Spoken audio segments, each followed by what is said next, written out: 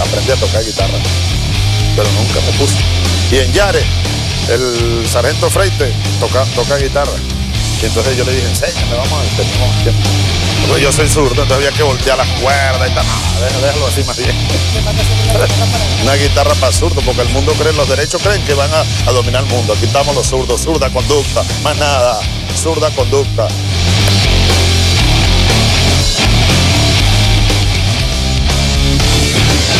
Hola, ¿qué hace? Muy buenas noches a todos ustedes. Bienvenidos y bienvenidas al único programa de la televisión que no especula audiovisualmente. El único programa que es bueno, bonito y barato. Empezamos nosotros con Zurda Conducta, como todos los jueves y viernes, su cita habitual con la estridencia audiovisual. Seguimos, segundo viernes en el plan Vuelta a la Patria. Esta vez viene desde Machu Picchu el señor Fidel Madroñero, así que un aplauso. Llegó en llama, un aplauso para Fidel Madroñero. Cuando decía hombre en llamas de Denzel Washington. Bueno, en cambio, hombre en llamas en este caso es Fidel El señor Fidel Madroñero que está activo. Un aplauso. Jonathan, ¿qué le está pasando a Jonathan el día de hoy? Le han dado cachito a la Ah, gente. ¿qué le pasa a Jonathan? Estará, bueno, no sabemos en qué anda. Saludos a la compañera del lenguaje de señas. Como siempre, ella va a ilustrar que este, hoy es viernes y el cuerpo lo sabe y si no, lo agarra el negro del WhatsApp. Ah, muy bien. Lo acaba de, decir, el lenguaje de señas. Y miren, este, a propósito, Caracas está encendida. No solamente el señor Cabeza de Mango anda por allá en punta de encuentro, eh, punto de encuentro allá en San Agustín, sino que también nos encontramos con Mayber Bolívar. Está el Suena Caracas prendida, Mayber. ¿Cómo se encuentra eso por allá? Nosotros, mientras tanto, trabajando y tú de juerga, de rumba. En sintonía de Venezolana de Televisión. Nosotros nos encontramos desde la Plaza Sucre de Catia porque se encuentra en desarrollo el tercer Festival Latinoamericano de Música Suena Caracas 2018. Y como pueden ver a través de nuestras pantallas, una gran multitud se ha dado cita en este lugar para presenciar a grandes artistas como Bani Costa, Dimensión Latina y Eucaris, que en este momento se encuentra haciendo su presentación. Es importante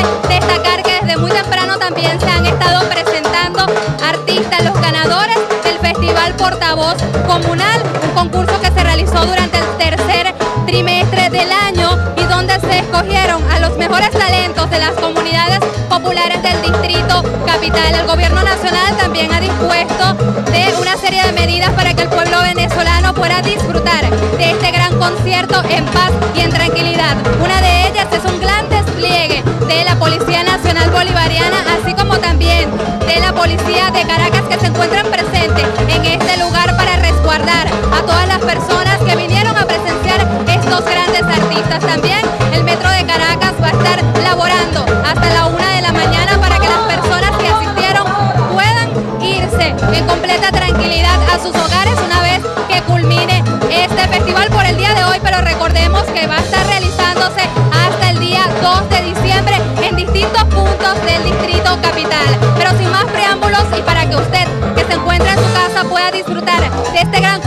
lo dejamos con parte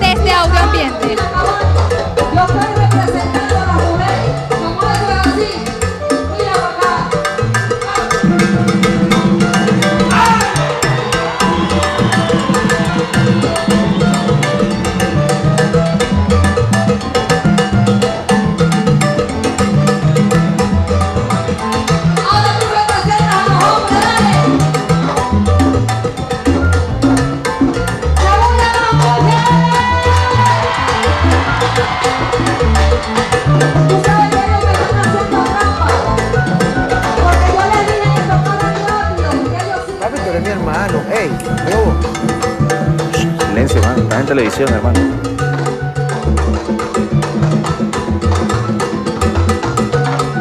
Bueno, seguimos. Esto es, esto es en Katia. Se prendió, se prendió Katia. Se encendió Katia con Suena Caracas, señoras y señores. La gente está rumbeando, la gente está huergueando, la gente está, bueno, vacilando como cabecemango todos los viernes, todos los viernes que no viene acá el programa y por eso, bueno, desde directo desde, desde el Perú traemos al compañero eh, Fidel Madroñero. ¿Cómo estás, Fidel? ¿Cómo te va? Eh, ¿Cómo te sientes? Después de ese plan siento- Vuelta a la Patria, van dos siento- viernes Ah. consecutivos. Me siento en la, en la gran Colombia. Estamos con Pedro, colombiano. No, ya no. Soy Eh, venezolano. colombiano. Eh, Soy Rica- venezolano. Ricardo, que es ecuatoriano. No puede ser. Yo, que soy del Alto Perú, boliviano. Boliviano. La negra, que es dominicana. No, mango, Mango es dominicano. dominicano. Mango, es- perdón, Mango es dominicano. Y la negra es venezolana. Mira, la Eh, negra, guayú, la la negra iba a venir, la negra iba a venir, pero eh, cuando precisamente sube un pelín a la música, porque hoy es viernes, precisamente, este, eh, eh, ustedes saben que nosotros estamos apelando al emprendimiento nacional, etcétera, etcétera. Precisamente cuando yo iba saliendo allá del lugar en donde ella se encuentra, de su lugar de trabajo, tiene una hamburguesería, se llama Lollipop. Venden, bueno, ah, eh, tortas, venden helados, etcétera. Si usted le quiere picar la torta, usted va al lugar de allá, allá en el Fuerte Tiuna. Bueno, llegaron 50 personas pidiendo 50 hamburguesas. Yo le dije, no, quédate aquí, trabaja acá, que suene la caja registradora, porque además, bueno, hasta Diosdado Cabello le ha hecho, le ha hecho publicidad. Entonces, bueno, son cosas que están pasando. La gente está emprendiendo y mango en su bar. Cosas están pasando aquí en, en su Bueno, ya por lo menos podemos, tenemos donde comer tranquilos y beber Y tranquilos. donde Sí, beber y donde bailar Porque, tranquilo, además. eh, claro, porque ahí a uno no le van a envenenar la comida. Yo, yo felicito a todas las iniciativas, Pedro, de que de compañeros chavistas, emprendedores, que hacen cosas muy buenas, de mucha calidad. Tenemos Rebelión Bistro, Rebelión Bistro. que Ricardo es el dueño. Sí, señor. Tenemos a, Rebelión Bistro Incorporated.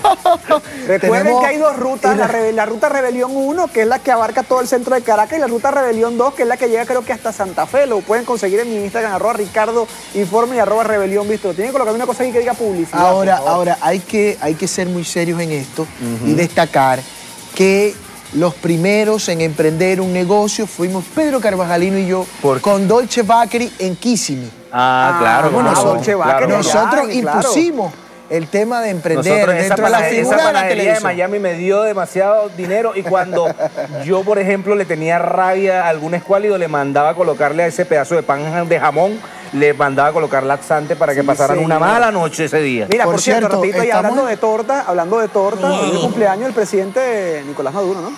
Está cumpliendo años, ¿no? Cumpleaños el Está día de hoy, cumpliendo años, claro, mañana, hoy es por eso, 23 de Qué buen noviembre. día, pues qué buen día Para para, picar la picarle torta. la torta al presidente Nicolás Maduro. Lo que vamos a hacer a lo largo de este programa va a ser picar torta. Hoy me decía un, un pana, ustedes tienen esa tribuna ahí, lo que hacen es picarle torta a Nicolás Maduro. Hermano, vea el programa hoy que le vamos a dar con todo. Quesillo, torta, tocinillo del cielo, Miren, tenemos- todo tipo de postres. Y yo aprovecho, hoy es 23 de noviembre, un día como hoy nació la vieja Arelis en Maracaibo, mi madre, está de cumpleaños también. Tu mamá. Tu mamá. Feliz cumpleaños, te amo, Feliz te adoro, presidente.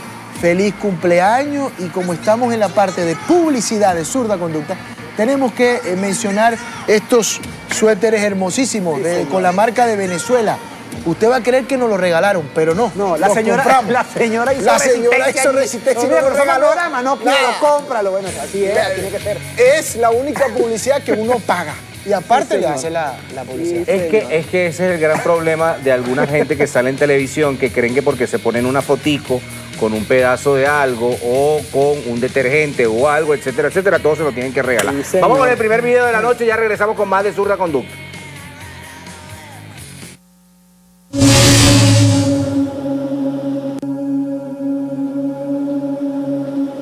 Utopía está en el horizonte. Yo sé muy bien que nunca la alcanzaré. Que si yo camino diez pasos, ella se alejará diez pasos. Cuanto, cuanto más la busque, menos la encontraré, porque ella se va alejando a medida que yo me acerco. Y entonces, ¿para qué sirve la utopía? Pues la utopía sirve para eso, para caminar.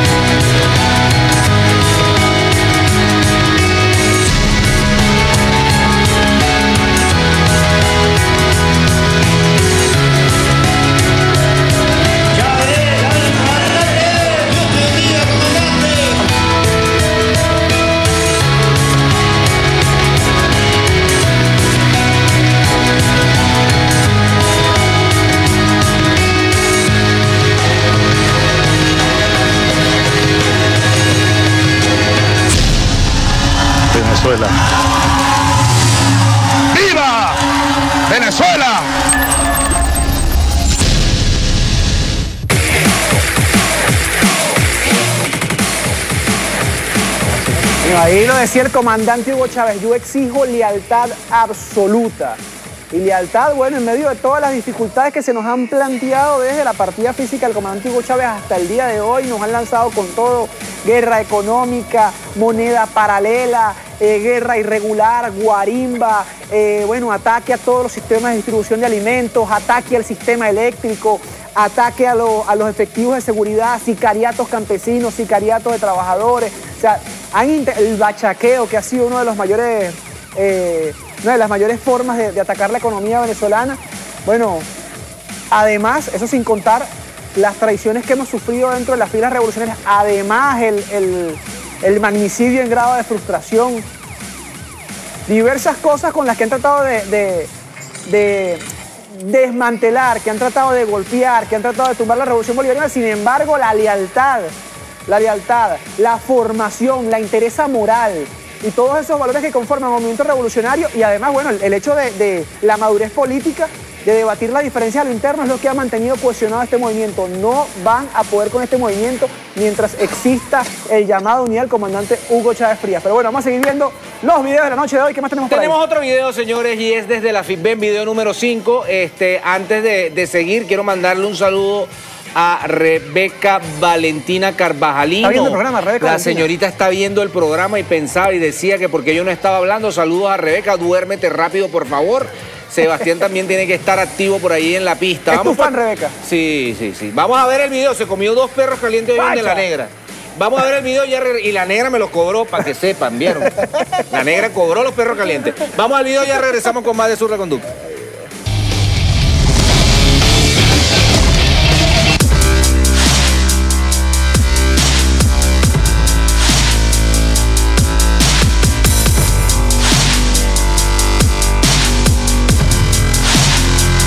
Bienvenidos todos. Esto ha sido una maravilla. De verdad que el presidente se ha votado que está fit.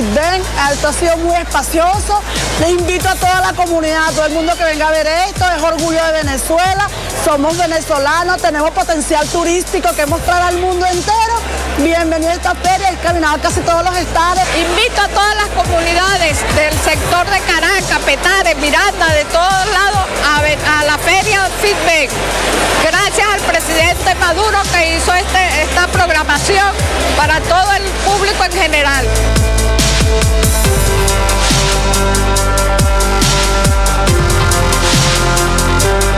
Que realmente el turismo va a ser uno de los motores fundamentales para avanzar en la economía en Venezuela. Y yo creo que eso es un punto clave para poder destacar. La feria me pareció muy bien, excelente. Los invito a todos, bienvenido al público en general. Todos vengan a la feria FitBank. Bienvenidos.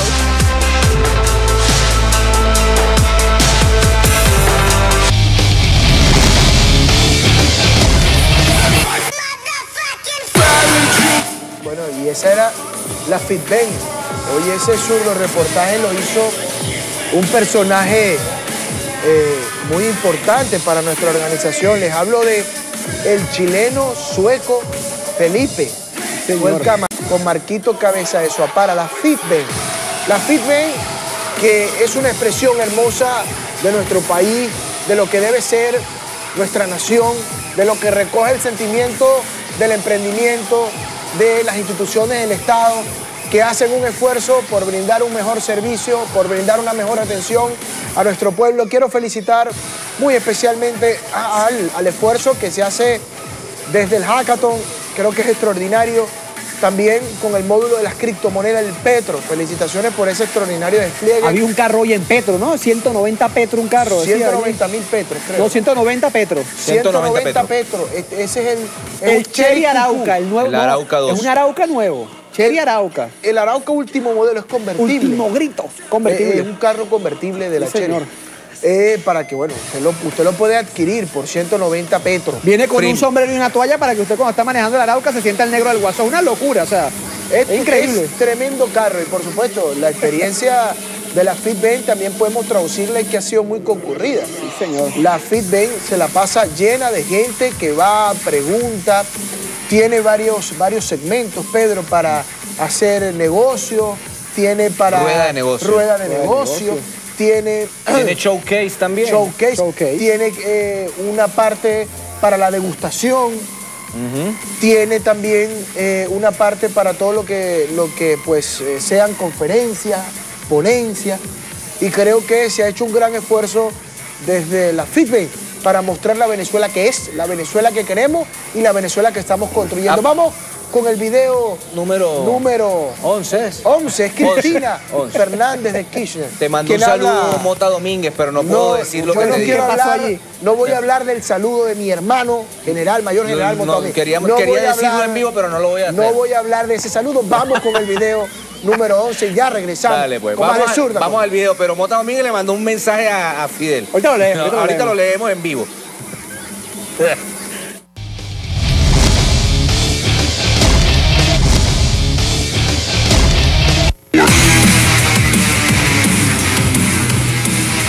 Bueno, esto fue un encuentro que se hizo esta semana, eh, que es la Claxo, eh, y un encuentro de pensamiento crítico en el año 2018. Estuvo y está por allá, estuvieron por allá Álvaro García Linera, estuvo la compañera Cristina, estuvo Lula.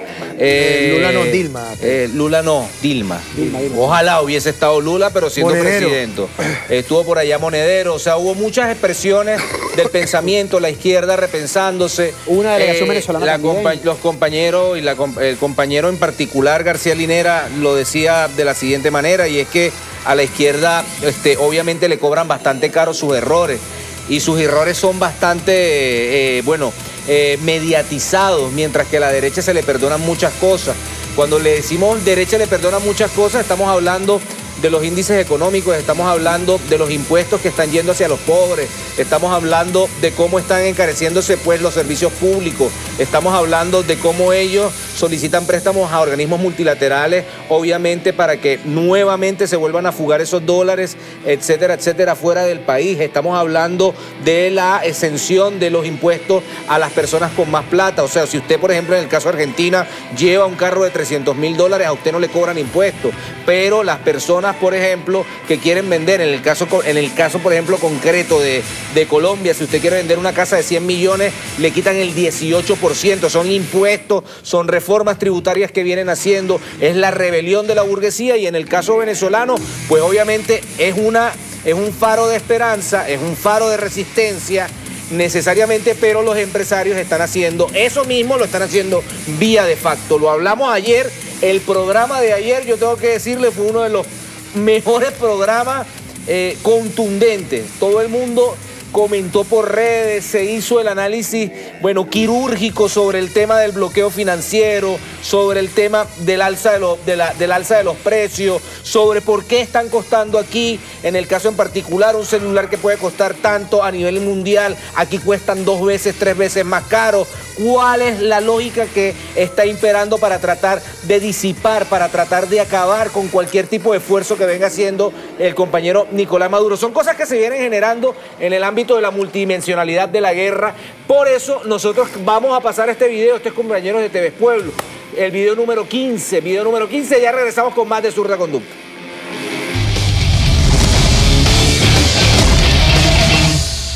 TV Pueblo siempre va a andar en la calle.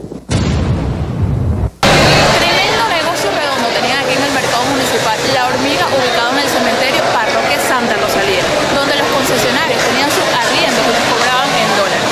Ha llegado el Poder Popular y la alcaldía del gobierno bolivariano para regularizar estos locales y dárselos a quienes estén trabajando o apoyar los proyectos socioproductivos de los clans de esta parroquia. Las tierras y los espacios son de quien los trabaja. Fuimos convocados a una asamblea por nuestra alcaldesa Con la intención de no enfrentarnos a nadie.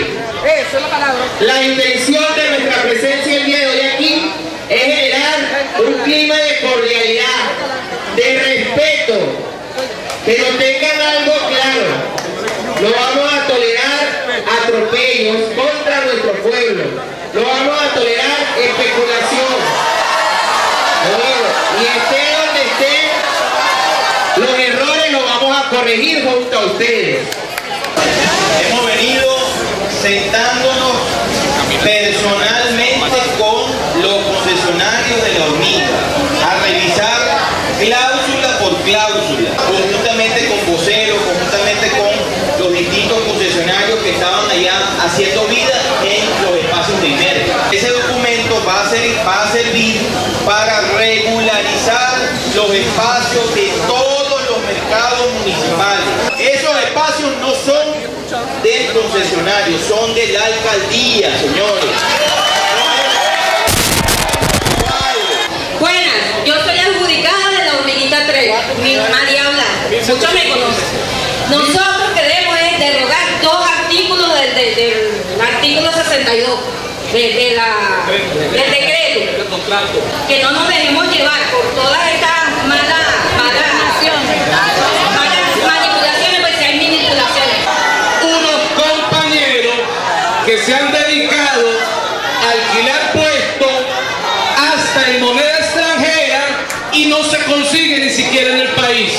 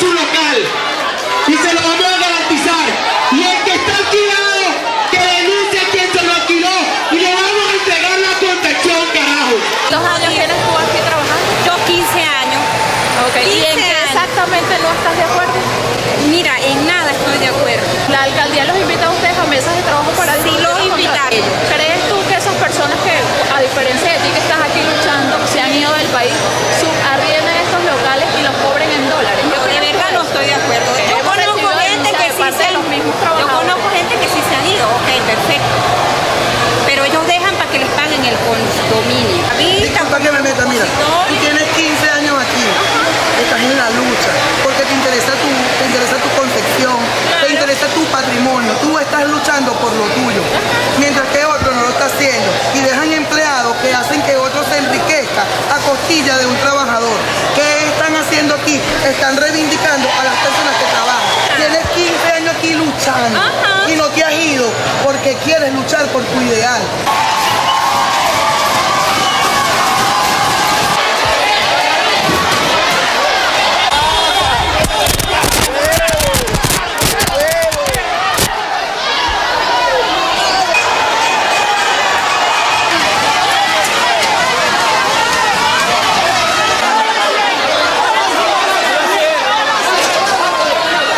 Los concesionarios se están rehusando a firmar el decreto número 62. Ese decreto tiene que ver a donde cada concesionario tiene la posibilidad de tener hasta máximo un solo local. Que nos hemos dado cuenta aquí con unas inspecciones con el Poder Popular, el Partido Socialista Unido de, de Venezuela. Una vez que hicimos el censo, nos dimos cuenta de concesionarios que tienen más de 10 locales y lo tienen su arrendado. Otros, compañeros que están fuera del país, u otros, lo tienen como depósito. ¿Qué queremos decir con esto? Están violando el decreto 62. Por eso están nuestras autoridades en estos momentos, porque vamos a hacer respetar el decreto del, muni- del municipio Libertador. Ahora, ¿qué le queremos decir nosotros a todos los concesionarios que están en los 14 municipios de en los ca- en las 14 parroquias del municipio Libertador? Que tienen que respetar las leyes y las ordenanzas que decretan nuestro Estado. Si a usted no le gustan las reglas, supuestamente porque bueno, hay una pero dentro de esa organización usted lo que quiere es el caos para seguir manipulando, para usted seguir enriqueciéndose con los dólares. Nosotros no trabajamos con dólares, nosotros trabajamos con bolívares. Y por eso hoy en día el Poder Popular, hoy primero de noviembre, ha tomado el mercado municipal La Hormiga de la parroquia Santa Rosalía porque está cumpliendo las instrucciones del presidente Nicolás Maduro y también de la alcaldesa Erika Faría. Para que el pueblo vea la verdad.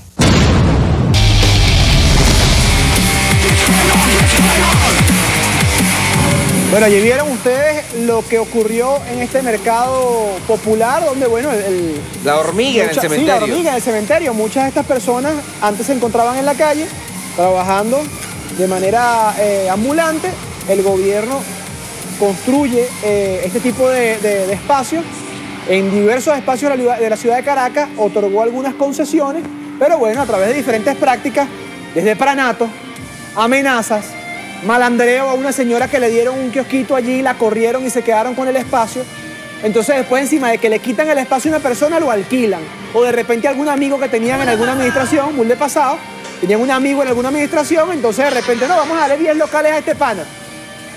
Y terminan apoderados de toda una cuadra dentro de un mercado y encima de eso esa persona que alquila el local, a quien el Estado le da una concesión, ni siquiera está en el país. Entonces esa señora o ese señor que, que, bueno, quiere vender su ropa que, que- confecciona o el producto, lo que sea, ¿verdad?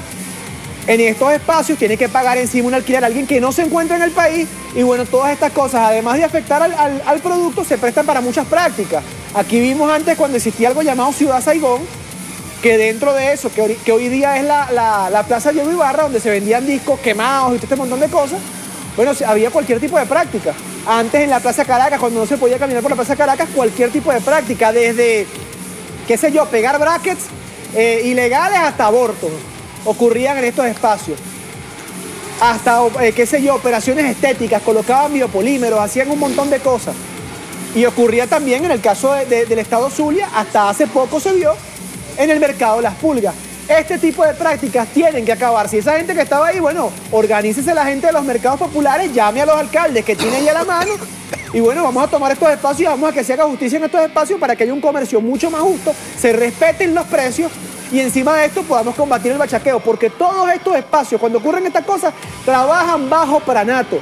Y tiene que haber justicia y tiene que haber equidad en, el funcionamiento de este tipo de, de espacios comerciales. Y a la gente que está practicando, que está haciendo estas prácticas y que está amenazando a los demás para querer apoderarse de las cosas, hay que sacarlos de allí y decirle, brother, ¿sabes qué? Soporta, hermano. No, no podemos permitir que nos sigan eh, trabajando a la gente y amenazando a las señoras que llevan ese tipo de locales. Ricardo, no podemos olvidar que la mayoría de esas mafias que operan en ese tipo de conglomerados, de estacionamientos, de, de locales comerciales, son las mismas mafias que venden el efectivo. Que venden efectivo, Son las mismas operan con mafias. dólares. Son las mismas mafias que operan con dólares y son el aparato económico del paramilitarismo. Los prestamistas. No es otra cosa. Esos prestamistas, ¿quién los ampara? El paramilitar. No me paga, te, Te quito mato. el Te mando un matón. No me paga, te mato. ¿Qué ha pasado, por ejemplo, en Maracaibo desde que se intervino el centro de la ciudad? Ah, bueno, que curiosamente ya nadie vende efectivo. Y eso es una realidad. Anteriormente el efectivo, el efectivo te lo entregaban al 200 y al 300%. Ya eso no pasa. Ya han, intentado migrar a otros mercados, pero por supuesto el gobernador Omar Prieto, el alcalde Willy Casanova han estado ahí, ahí, ahí. Porque precisamente, y eso hay que, políticamente hay que entenderlo así, esos mercados son el reflejo del país que ellos quieren. Efectivamente. El país que ellos quieren, donde no hay control, donde hay un sobreprecio todos los días, donde la inflación, donde se violan todos los derechos y donde lo principal, no se respeta a la gente, no se respeta al pueblo. Ese es el país que ellos quieren re- reflejar y por eso usan esos reductos comerciales para después venir a decir que aquí el gobierno persigue al libre emprendedor cuando es completamente falso. Mira, vamos con otro video. Es viernes y el cuerpo lo sabe y lo dice la compañera intérprete de señas. Pendiente y vista, pendiente y vista. Vamos con este video de Chávez. Regresamos con más de Zurda Conducta. Estamos a la espera de otro pase en el Suena Caracas. Pasó por San Agustín, eso estaba lleno. Me dijo Mango que duró hasta, la- hasta las 7 de la mañana. Por allá estuvo esa juerga. No, y él dijo que era que no, está lleno el local aquí, era el Suena Caracas. Era el. Suena Caracas Ey, que ey, estaba ey. lleno. Rolo de rumba prendió Erika Faría con, con truco de la musa en un liceo, por ahí anda Suena Liceo. Ah, también Es lo están haciendo los liceos. Senda rumba que están metiendo en los liceos para los chamos. Porque otra de las cosas que ha intentado hacer Pedro Fidel es eliminar cualquier espacio, cualquier lugar de esparcimiento para que la gente se divierta, bueno, para que eh, todo el mundo se vaya a la depresión y la tristeza. Vamos pues con este video, ya venimos con más de Sur de Conducta.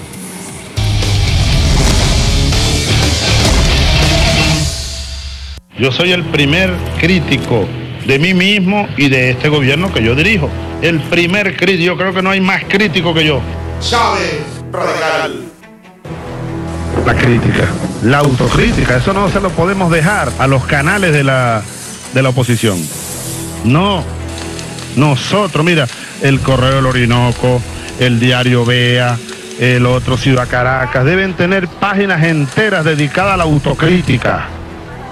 Que el pueblo tenga mecanismos, ay, que nosotros lo leamos. No le dejemos eso a canales de oposición que lo hacen de manera interesada para atacar al gobierno y siempre le dan la vuelta. La naturaleza burguesa es la prepotencia, complejo de superioridad. Entonces ahí no cabe la autocrítica. No, yo soy perfecto. No, que te autocrítica.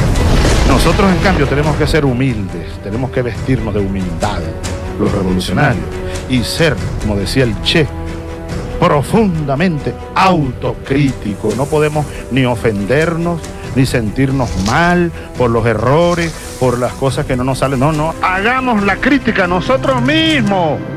Pero nosotros mismos no tengamos ningún complejo. No, no, que eso le hace daño al proceso. No, no le hace daño, le hace bien al proceso. La crítica del pueblo, la autocrítica no le hace daño, le hace bien. Le hace bien. ¿Eh? Ahora, hagámosla con lealtad al proceso, con lealtad a los principios, no, no imbuidos por, por, por dañar a alguien, porque ya entonces la cosa viene envenenada, ¿ves? No, vamos de manera eh, ética, con moral, la autocrítica y la crítica.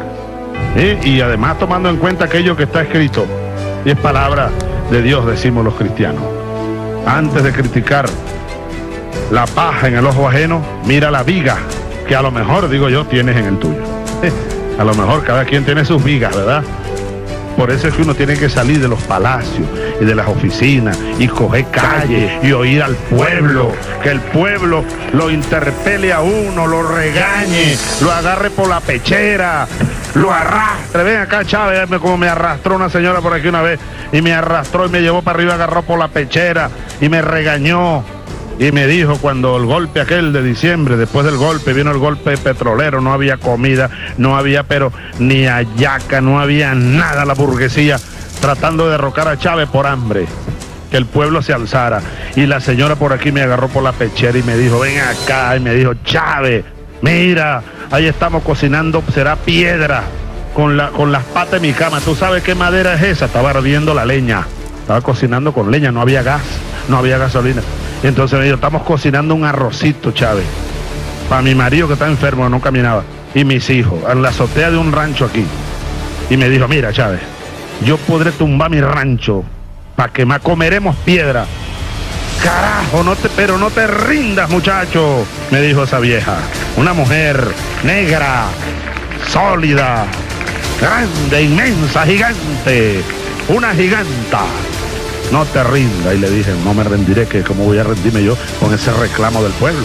Entonces uno tiene que salir, darle la cara al pueblo, a los reclamos de los trabajadores, de las mujeres, de los niños, de los estudiantes, y no refugiarse ni darle la cara para acá o voltearse para otro lado. No, para poder gobernar en función de lo que el pueblo reclama.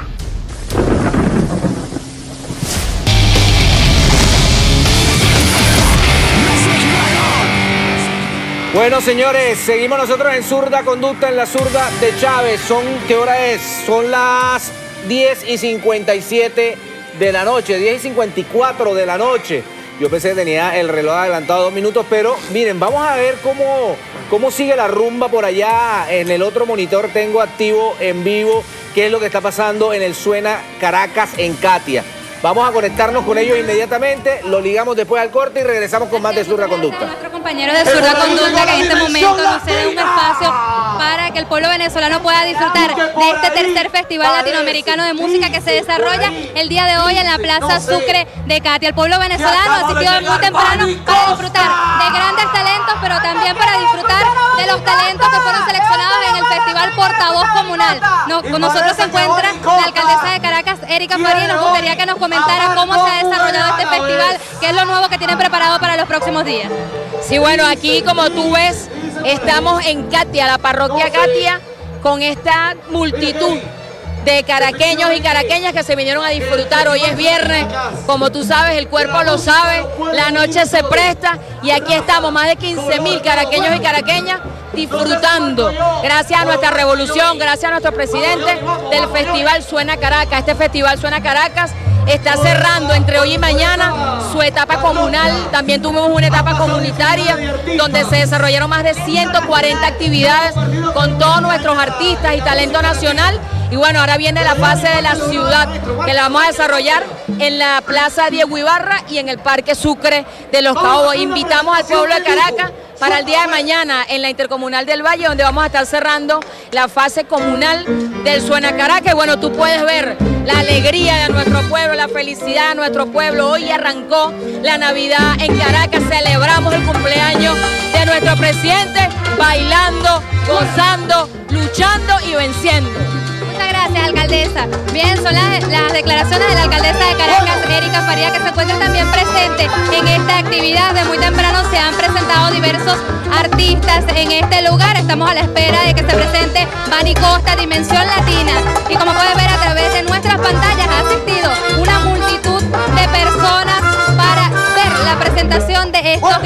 artistas. Es importante mencionar que este festival se estará realizando hasta el día 12 de diciembre. Es la información y con ella retornamos el pase a los estudios.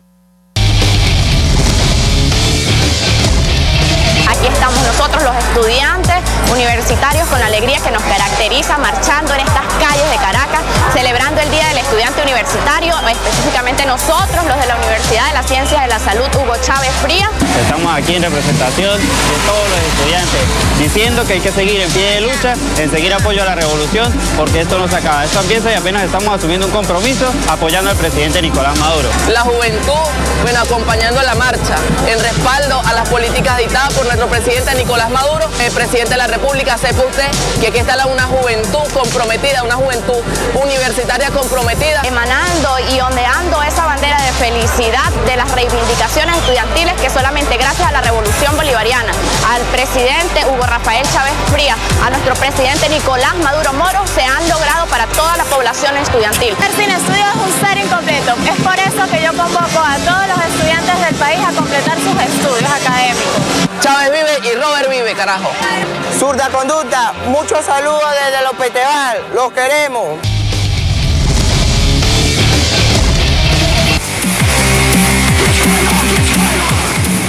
Y nosotros continuamos con zurda conducta, la zurda, la zurda de Chávez.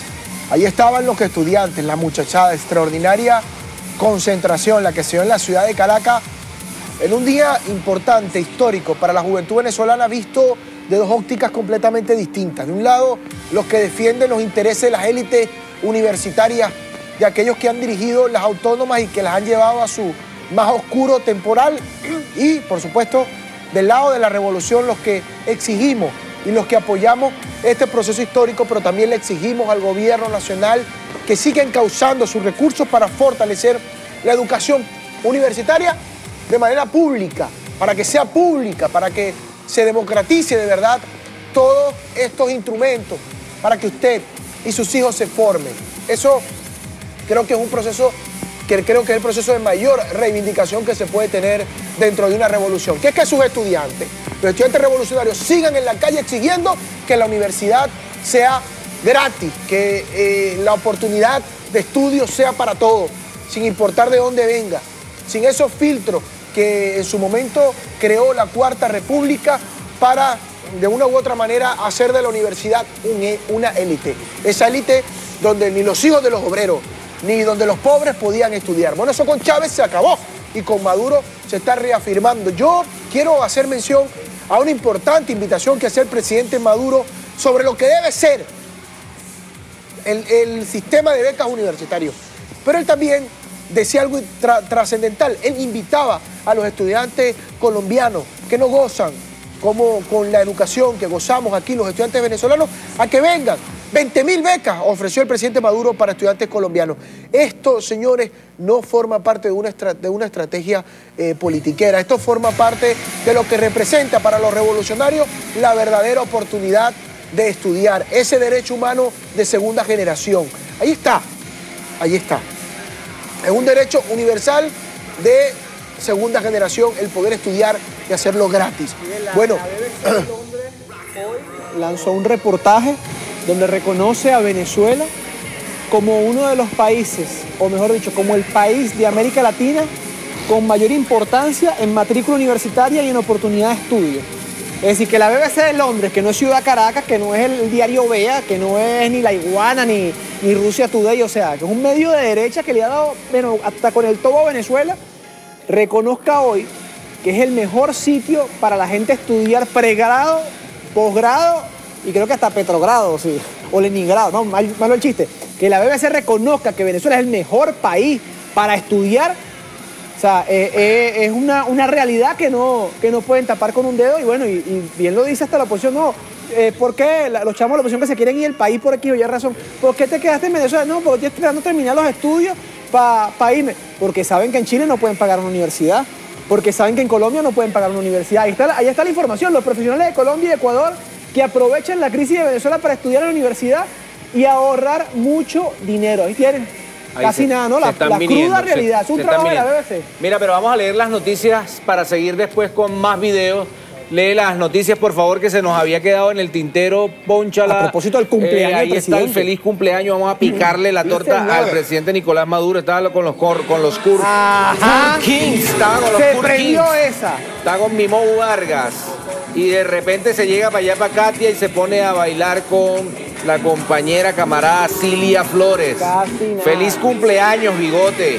Sigue El Nico. a- el Nico sigue activo y en la pista. Vamos con la siguiente noticia, señor director, si es que la tenemos, y es que Plan Vuelta a la Patria, véanlo aquí, mírenlo acá, miren, ponchalo pri- primero a él, vamos, 70-30, 60-40, miren el Plan Vuelta Por a la favor, Patria. ponme una canción de Delfín Ah. hasta el fin. Mira, ponlo ahí, ponlo ahí. Delfín hasta el fin, Pónchalo por ahí, favor. pon- pónchame a este muchacho, a este, a, a este perfil griego de Machu Picchu, este perfil, ¿ah? Plan Vuelta a la Patria, lo obligamos a venir aquí a Caracas, porque Sí, allá, señor. allá en Maracaibo, bueno. Ahora necesitamos lanzar el plan En vuelta a la Maracaibo, chamba. Lima, ¿no? Eso plan no es- vuelta a la chamba para que el señor Cabeza de Mango venga a trabajar, por favor. O sea, ya basta. Y la tanta- negra, no, a la negra le, dimos permiso carro. hoy porque de verdad se vendió. ¿A qué hora- a qué hora cierra 150 Lollipop? Yo creo que cierra ahorita a las 12. La negra está de safari. la negra está de safari. ¿Sabes por, qué? no? ¿Por qué? Está matando el tigre. Está matando el tigre. Tenemos más noticias, señor director. Ponche la noticia y por favor, y es que los demócratas se oponen a incluir a Venezuela en la lista de promotores de terrorismo. Cuando estamos hablando de demócratas, estamos hablando de los dos Partido partidos, lo- los dos partidos tradicionales en Estados Unidos, el Partido Republicano y el Partido Demócrata, dicen que no están dadas las condiciones, que no tienen, que no los requerimientos que supuestamente se dan o, o se establecen en términos jurídicos para definir a un país como promotor del terrorismo, pues eso no lo cumple a cabalidad Venezuela, sino que por el contrario, pues bueno, están pasando una serie de situaciones internas, pero más nada. No tenemos más noticias, señor director, pero vamos con este video, ya regresamos con más de Sur de Conducta. Hoy es viernes y el cuerpo lo sabe, señores. Hoy es viernes y el cuerpo lo sabe. Así es. Por aquí estamos en vivo eh, haciendo una transmisión. ¿Estás transmitiendo de verdad en vivo? Estoy en vivo, debería saludar aquí. Hola, ¿cómo estás? ¿Cómo te va? Ni hao. Hola, ni hao, Ni ¿cómo hao. estás? Ni hao. Oh, ni hao, Ni ni hao. Mira, vamos al video, ya regresamos con más de Sur de Conducta. Te voy a decir un poema.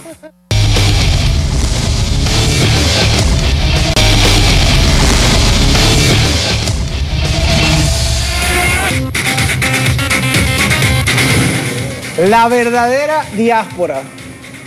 Todos esos compañeros que desde Centroamérica, bueno, caminan y caminan kilómetros para llegar lamentablemente a ese falso sueño americano que les han vendido, a, ese, a esa tierra prometida que les han vendido a través de los medios de comunicación, pero que también es bueno que Estados Unidos lleve su, una dosis de su propia medicina porque durante muchísimo tiempo bombardearon a Venezuela y a toda América Latina con que, bueno, la- el- era insostenible vivir en Venezuela, que era imposible vivir en Venezuela porque las condiciones económicas, porque la inseguridad, porque la inestabilidad del gobierno, porque, bueno, un montonal de razones que algunas, bueno, ciertamente hay dificultades, ciertamente hay, hay cuestiones donde, donde la, la cosa se ha puesto un poco apretada y hemos tenido que luchar, hemos tenido que lidiar con diversos asuntos, económicos sobre todo, pero que cuando revisamos la realidad centroamericana, bueno, resulta que encontramos países, por ejemplo, como Honduras, donde hay mafias de verdad manejando las calles, que le dicen a los niños desde que tienen 11 años, bueno, vente para acá para la, para las maras o vente para acá para, para las pandillas o simplemente te vamos a matar o amenazan a las familias de los niños. Esta es la verdadera diáspora, montonales de campesinos desplazados por, por los narcotraficantes mexicanos, desplazados por las bandas armadas, niños solos que se van, bueno, nada más con la bendición de la madre y con un pan en el bolso para tratar de, bueno, llegar a Estados Unidos. Lamentablemente bombardearon a Venezuela y a toda América Latina con la idea de váyase de ahí, váyase para Estados Unidos, aquí le abrimos las puertas, aquí hay condiciones migratorias, aquí hay condiciones laborales, aquí está el sueño americano. Y se les, desbordó, se les desbordó la matriz, se les desbordó, la realidad. Ahora, ¿qué, ¿con qué responde Estados Unidos? Con 15 mil militares esperándoles en frontera.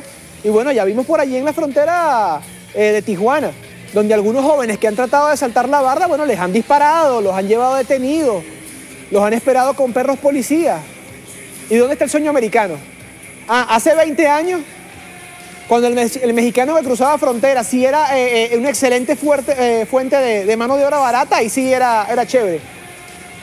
Hace un año, hace dos años, cuando los mexicanos agarraban y les disparaban en la calle como jugar al tiro libre, los policías, de la misma forma como hicieron con los negros en Ferguson, ahí sí era chévere. Pero hoy en día que la gente está buscando una mejor calidad de vida que ustedes mismos le ofertaron, ahí sí no es, no es agradable, ahí sí los mexicanos huelen mal, ahí sí huelen mal los hondureños y los guatemaltecos. Entonces, para que ustedes revisen allí y no esa diáspora que hablan de la diáspora venezolana que anda pues, supuestamente por el mundo, que se fue de Venezuela con dólares, que cruzó la frontera a, Colombia con equipos Haier, con, con línea blanca Haier en la espalda, que le vendía el gobierno a precio de gallina flaca, que se fue eh, vendiendo casas, que se fue con, cupo con, con- con título universitario, que se fueron con posgrado, que bien lo veníamos diciendo, son mucho más baratos en Venezuela, y que no se va con una mano adelante o una mano atrás como va la diáspora centroamericana. Pero es para que usted compare la realidad, Pedro. Vamos con el video número 35, vamos con el video número 35, 11 y 15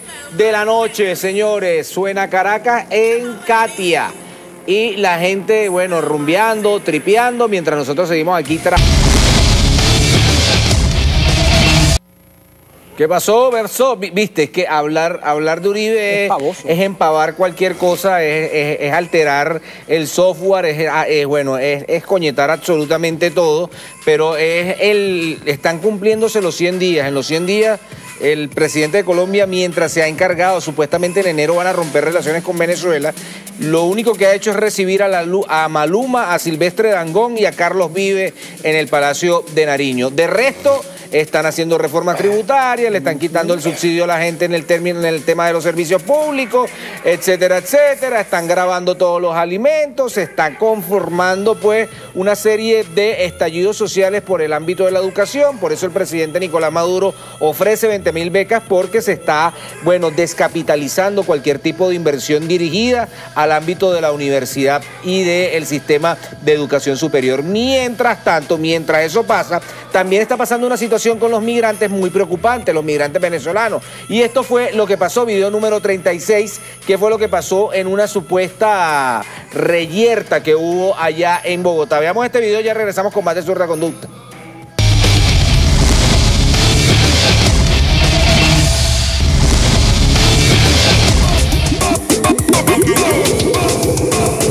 Bueno, y aquí tenemos que hacer un análisis bien completo de lo que corresponde o de lo que conlleva este tipo de noticias muy bien construidas y muy bien pensadas. Primero, el Estado colombiano ha recibido más de 40 millones de dólares en ayuda humanitaria para supuestamente atender a los venezolanos. Número uno. Número dos.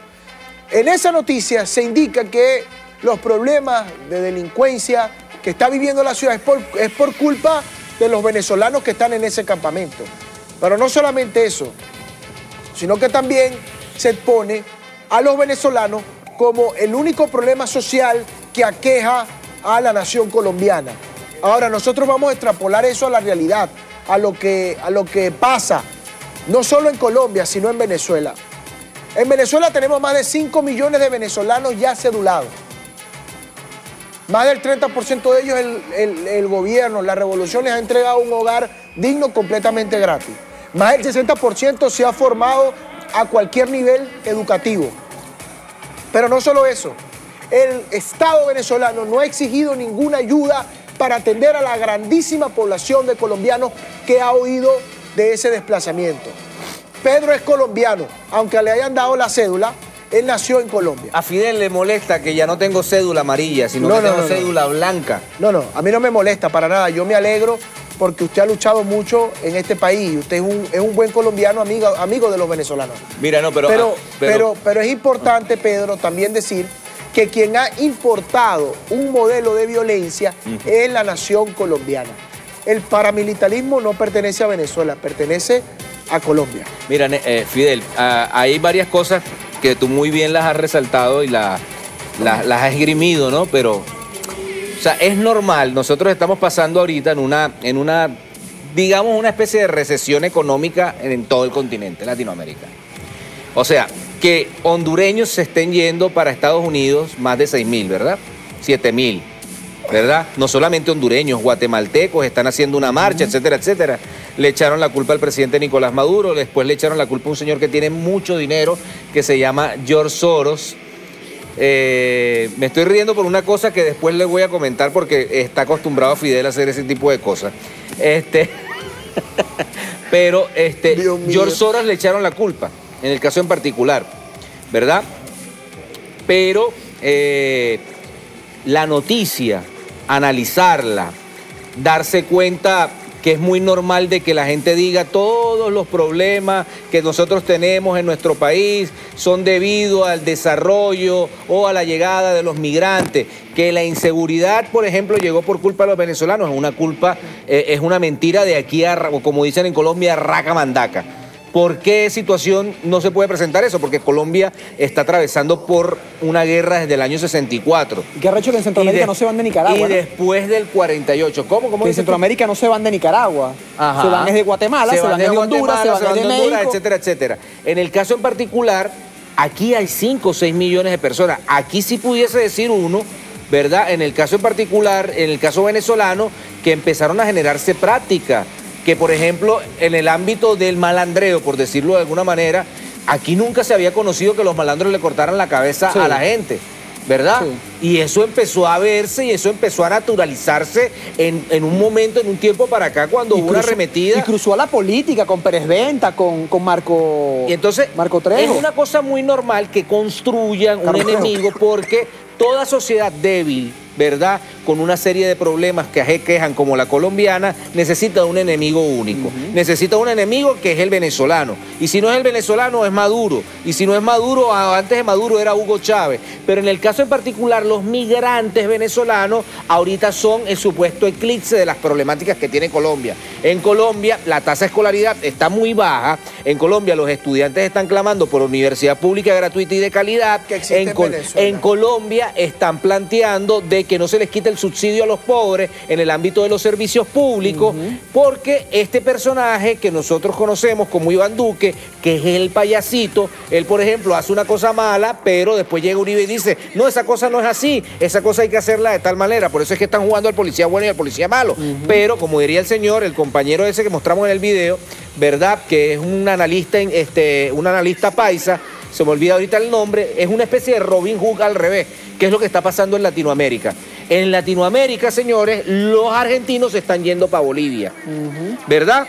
¿Qué está pasando con Venezuela? Que en Venezuela, ayer lo explicamos muy bien en el programa, lo han bloqueado de todas maneras en términos financieros, en términos, por ejemplo, cuando se quieren traer alimentos o se quieren traer medicina, etcétera, etcétera. Y como bien decía García, García Linera, cuando nosotros como izquierda tenemos errores, entonces son exaltados por los medios de comunicación. Pero qué mayor error, por ejemplo, que es el caso particular de Colombia. 10 millones de personas están por fuera del país. Es decir, el 10%, el 20% de la población colombiana está por fuera del país. Y 7 millones de colombianos están rodeando, se van de Cincelejo para Bogotá, desplazados por la violencia, Desplazados porque les quitaron ¿no? sus tierras. ¿verdad? Entonces, es una crisis que ellos tienen y no han aguantado, con ponle tú 500 mil venezolanos, no han aguantado, pero ¿cómo ha aguantado Venezuela 6 millones de colombianos? Es la pregunta que hay que hacerse. ¿Por qué Venezuela sí puede, verdad? Ah, ahorita estamos en una situación difícil, la cosa está jodida. Pero además también hay que decirlo, muchas de las personas que se están devolviendo a Colombia son personas, por ejemplo, en el caso en particular, que tienen familiares o que son de familia colombiana y llegan es a la casa de una tía, de un primo, etcétera, etcétera, ¿verdad? Que es colombiano. ¿Ve? Entonces son los mismos colombianos que fueron nacionalizados en Venezuela. No estoy queriendo decir con esto que no haya venezolanos que se hayan ido, que se hayan ido, de bolas que se han ido. Aquí nosotros estamos en una situación económica complicada. Pues nosotros venimos también, y entonces eso hay que decírselo a la gente, nosotros venimos también, ¿verdad?, de que un venezolano antes, en el ámbito latinoamericano, era como cuando la gente veía, no sé, la niña, la, la mujer más hermosa, ¿verdad? Porque el venezolano que cargaba una tarjeta de crédito con 3.500 dólares y se llevaban todas las tiendas en centros comerciales en Argentina, en centros comerciales en Brasil, en centros comerciales en Uruguay, en centros comerciales en Miami. ¿O Panamá qué es? Panamá es producto ¿Panamá qué Caribe. es? Panamá es bonita porque, porque es Panamá. Panamá es lo que es. Porque un montón de gente se llevaba la tarjeta de crédito, le quitaba, ah, bueno, este, para que usted quiera, ah, usted quiere los dólares en efectivo para llevárselo para Venezuela. Bueno, yo le quito el 20%. O mucha gente construyó rascacielos. O llegaba un venezolano, ¿cuánto cuesta ese apartamento? Cuesta 50 mil, se lo compran 80 mil. O en el caso en particular, ya porque en los 80, por ejemplo, Miami, Miami fue construida en los 80 por el narcotráfico. Eso es- sale en las películas, sale en todos lados. Pero la Miami de ahorita, ¿quién la construye? ¿Quién la construyó? ¿No fueron un montón de venezolanos que se fueron para allá también? Algunos a trabajar, a echarle bola, actores, actrices, a trabajar de taxista, a limpiar baños, pero otros con plata robada, ¿verdad? Por ejemplo, los hijos de, la- de los hijos de Salah Romer, de repente un chamo de 30 años, ¿no? Que yo compré un hotel. ¿Cuánto cuesta el hotel? 60 millones de dólares. Wow. ¿Ve? Venezuela siempre ha sido el pulmón de Latinoamérica. Panamá no es Panamá si no fuera por Venezuela. Miami, la Miami de ahorita, la construida por los venezolanos, no fuera si no fuera por Venezuela. Cúcuta. Cúcuta pasó de ser, bueno, hay- en Cúcuta hay clínicas con helipuerto y casi todos los hoteles o los moteles que están desde Cúcuta hasta Ureña son de paramilitares colombianos. El señor que vendía empanadas Ah, que después el tenía señor una- que vendía empanadas que una tenía mansión. ah no que tenía- ah, un señor que vendía empanadas entonces tenía mira compraban todas las fincas alrededor y puros camiones 350 verdad todos los camiones 350 los tenía él ahí porque se llevaban todos siguen llevándose todo. Entonces es muy arrecho que ver ah no que ah no que el origen de la delincuencia es de los venezolanos que están llegando a Colombia. No sean tan caretablas hermano. Y se lo está diciendo un colombo venezolano que sé cómo se bate el cobre. Para allá, en Colombia, un alcalde lo dijo, si siguen llegando, es un pueblito cerca de Barranquilla, si siguen llegando personas que se habían ido 10 años antes a, a este pueblo, se va a generar una crisis humanitaria, porque no hay una política. Si no hay una política para el colombiano, mucha menos va a haber una política para el venezolano. Y esa gente en donde usted ve que están construyendo una especie de, este, de cambuches, le dicen en Colombia, ¿verdad? Pero esas carpitas, eso, eso, eso, eso que están haciendo ahí, eso no es gratis. Porque por esa cosa, por esas carpitas blancas que ponen ahí en Cúcuta o que ponen en Bogotá, eso le cuesta. O ellos martillaron, la clase política colombiana martilló 30, 40 millones de dólares. Y es en lo que se la están pasando ahorita. Van para la ONU. Necesitamos plata porque los migrantes venezolanos Nos están causando nos están causando muchos gastos sociales. Necesitamos 50 millones. Y lo peor es que se los dan. Pero imagínense si Venezuela hubiese dicho, hay 6 millones de colombianos en Venezuela. Nosotros vamos a pedir, no sé, 3 mil millones. Porque además el ministro de Finanzas de Santos pidió 30 mil millones de dólares para solventar el problema de los Pero, migrantes. y lo peor de todo esto es que en el hipotético caso, ¿no? De que la, la derecha llegara a tomar el poder en este país, ellos nos van a cobrar y todo eso, ¿no? Porque se van a hacer las víctimas, van a decir, no, mira, todo el daño que generan los venezolanos por el tema de la migración, nos tuvimos que pedir dinero a no sé en dónde y tal, y todo lo demás, y van a obligar, van a endeudar a Venezuela. ¿Cuánto era que pedía ¿Cuánto era que pedir el señor Hoffman? 50 millones de dólares, 50 mil millones de dólares. 50 mil millones de dólares. En- entre Hoffman y, y el señor eh, Ricardo Hoffman y el señor, eh, eh, eh, ¿cómo se llama? El señor de la Linapamba, le- Lorenzo Mendoza. Lorenzo Mendoza. 50 mil millones de dólares supuestamente. Ey, eso es para un año, ¿viste? Claro, para un año, supuestamente, y que bueno, para reconstruir a Venezuela, ojo. Pero Los primeros la meses. misma, claro, la misma situación de crisis humanitaria que dicen que hay en Venezuela, que en un momento llegaron a compararla con Irak, que ocurre después de que hay un país en guerra, por ejemplo, invadido por los Estados Unidos. El país que bombardearon lo endeudan con empresas norteamericanas que vayan allá a reconstruir el país. Es decir, ellos te destruyen y después te dicen, mira, yo te llevo mis empresas y págame para yo reconstruirte cuando yo fui quien te bombardeó. Es como que yo vaya a su casa, señora, señor, le caiga cachetada, le viole así y después le diga, mire, si le pegó una enfermedad o, en algún momento agarré y preñé a alguien allí, usted tiene que pagarme a mí para que yo, para que yo indemnice ese daño, para que yo recupere ese daño. Bueno, y es que también, Ricardo, hay un aspecto importantísimo del punto de vista cultural, de lo que ha representado Venezuela desde el punto de vista cultural. Y yo quiero hacer una reflexión con respecto a esto. No es la cultura venezolana una cultura antimigrante. Es la cultura eh, venezolana esa que acobija, que abraza, que respeta, que reconoce y que brinda oportunidades a los que han llegado a este país. Da posada. Con una mano adelante y una atrás. Y que aquí nosotros los venezolanos los recibimos, le hemos dado trabajo y muchos de ellos han emprendido hasta negocios y hoy son miembros de la clase media alta, por así llamarlo, de este país. Son grandes empresarios, entre ellos portugueses, italianos, chinos, colombianos, Árabes, que, de árabes que han estado, que están en Venezuela, que tienen 30, 40 años aquí y que pueden hablar muy bien de nuestro país. Yo voy a, a saludar a la gente de Caricuao, Pedro, que me está Ah, es otro país. Aquí en, en- En- uno, para ir a. Caricuao de Caracas tiene que ir con pasaporte, eso es lejísimo. Caricuao, el amigo Satkiel está en sintonía. El amigo Satkiel de Caricuao y a toda su familia un fuerte abrazo. También al pana Chema de Maracaibo, porque se nos ha pasado anunciar que hoy arrancó la campaña. Ya hoy arrancó la campaña de concejales. Compañero Pedro Carvajalino, el Partido Socialista Unido de Venezuela con todos sus candidatos, el gran polo patriótico. Nosotros, nosotros nos vemos el otro candidatos. año, porque tengo que decirlo, voy a lanzarme a, a diputado. Eh, tengo la cédula, tengo los años y, y bueno, hemos hecho como un baloto aquí de quién se va a hacer a diputado. Ya él es constituyente. Hemos elegido, eh, eh, Ricardo, como bien dicen los alemanes, todavía le falta un poco de experiencia. Los profesores dicen que hay que, hay que después de los 30, 31 años, 32 años, la experiencia hay que, bueno, fortalecerla. Pero yo Todavía pa- tiene que pasar pa' por algunos Latillo. Yo tengo- procesos. Tengo, tengo una proyección ahí para el latillo. Para el latillo. Para el latillo, hermano. Para el latillo. Yo me voy a, yo eso. me voy a lanzar por el Táchira. Madre mía, por San Diputado de la. Asamblea Nacional el otro año. En- en el nombre- en el nombre de Dios y de la Virgen En el nombre de. Dios y la Virgen. Vamos al video, ya regresamos con más de Zurda Conducta.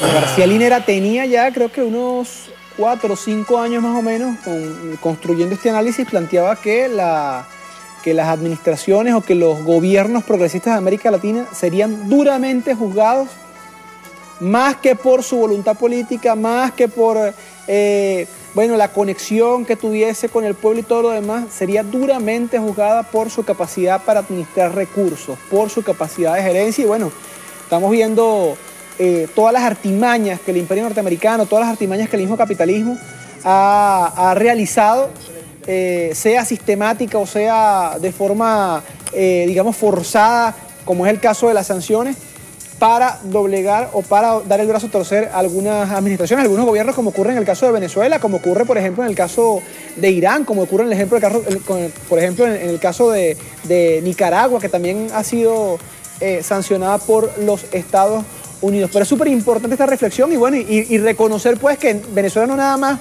está tomando serias reflexiones en materia de lo económico, sino además que, bueno, por ejemplo, hay una gran parte del Partido Socialista Unido de Venezuela y una gran parte de la juventud venezolana que está estudiando tanto dentro como fuera de Venezuela diversas experiencias de economía del mundo, sobre todo la experiencia china, para darle, para salir al paso de toda esta coyuntura. Y no solamente eso, sino que también hay un pueblo organizado que está trabajando pues, en la construcción y el fortalecimiento de un tejido social con métodos de resistencia como es el CLAP y como son diversas eh, opciones o como son diversas alternativas que busca el pueblo para salir al paso a las sanciones, a este estado, de, este estado criminal de violencia económica que, han lanzado contra el pueblo de Venezuela para darle su brazo a torcer para que no vote más por la revolución bolivariana. Mira, eh, tenemos un Twitter por ahí, señor director, cuando quiera pónchelo, por favor, y es que con la alegría de nuestros niños, la llegada de Pacheco, la parranda, los aguinaldos y el encendido de la cruz del Guaraira Repano, damos inicio a la Navidad caraqueña, que viva la Navidad, que viva la felicidad. Hoy es 23 de noviembre. Prendan la luz que es diciembre, prendan la luz que es diciembre. Miren, vamos con un videito a propósito de cosas que pasan en, otros países. Eh, había un señor que, iba, iba a mostrar muchas cosas sobre casos de corrupción vinculados con los sectores más cercanos del el uribismo. Eh, el señor murió, pero eh, su hijo de repente amaneció muerto con cianuro. Veamos qué fue lo que pasó, ya regresamos con más de Zurda Conducta. Ponlo, poncha.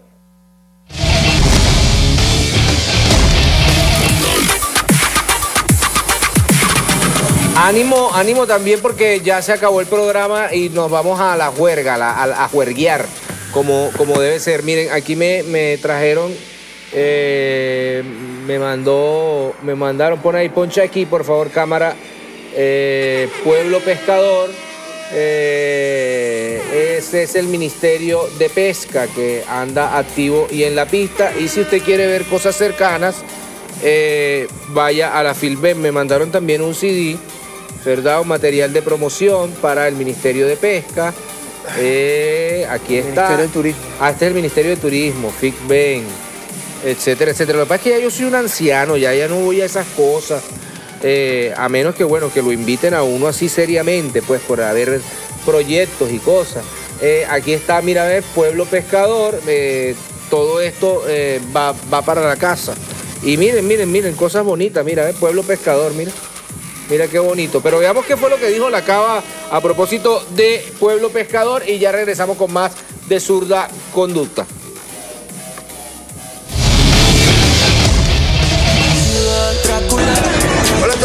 Aquí estamos en el FitBen 2018, muy contentos.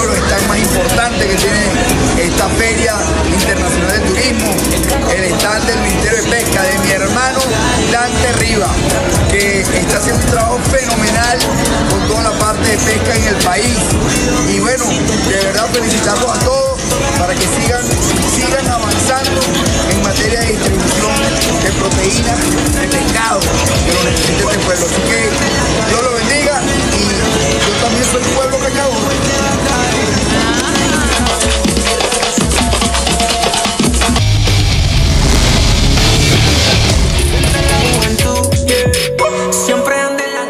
Drácula, Drácula. ah, Ese era el bárbaro, ¿no? Este, esta, no, esta canción está fina, pero mejor es la Drácula, el tamborcito, el Drácula dominicano. Así que, nada, saludo, hermano eh, Rafael Lacaba, que estuvo hoy por la Fitben, que fue además tremenda feria. Había de todo, había de todo. Había eh, turismo, más turismo, más turismo, porque es la Feria Internacional de Turismo, lógico. Pero también estaba la gente del Petro, que está haciendo una grandísima campaña. Estaba la gente, bueno, por ahí andaba, que no quiere hablar Pedro Carvajalino, de eh, la gente de pesca, el Ministerio de Pesca, la gente de Yo Soy Pueblo Pescador. Mira, quiero mandar un saludo aquí. Ah, estaba la gente de NTV, bien diverso. Es un, todo, un showroom bien de pinga. Mira, saludo aquí al pana Lenín Figueira y al pana Jayce Orojo, que está en sintonía, al hijo de, del compañero Johnny, que también está viendo Creo que el, jue- el jueves programa. viene Dante Rivas. Sí, Eh, señor. solo La no gente de estar Petro ellos Carabobo dos. está activa. La gente de Petro Carabobo está activa con zurda conducta la noche de hoy. Saluda a la gente de la Embajada de Cuba que también estaba viendo eh, el programa en la noche de hoy en completa sintonía desde la Embajada de Cuba. el, no, el jueves pendiente, que el jueves hay una sorpresita extraña. Eh, sol- solemos hacer las, sor- queremos- las queremos- sorpresas los queremos, jueves. Queremos manifestar en este programa que nos subordinamos a la voluntad y a la siempre oportuna dirección. Es más, el- colócale en el insert, del invitado especial. Coloque, por favor, eh, eh, a, nuestro, Valencia. a nuestro líder. Invitado especial aquí. A aquí. nuestro orientador. Guillermo un gordo. a nuestro. Porque lo que me hizo hoy me lo voy a desquitar en algún momento, pero va a ser en vivo.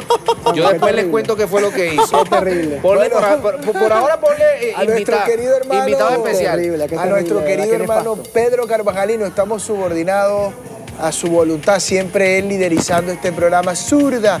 Con el sin sensei, el embargo- sensei, el sensei. Sin embargo, Gracias, gracias Dante por el, por el regalo. Me lo llevo para la casa muy, muy lindo todo. Muy bello.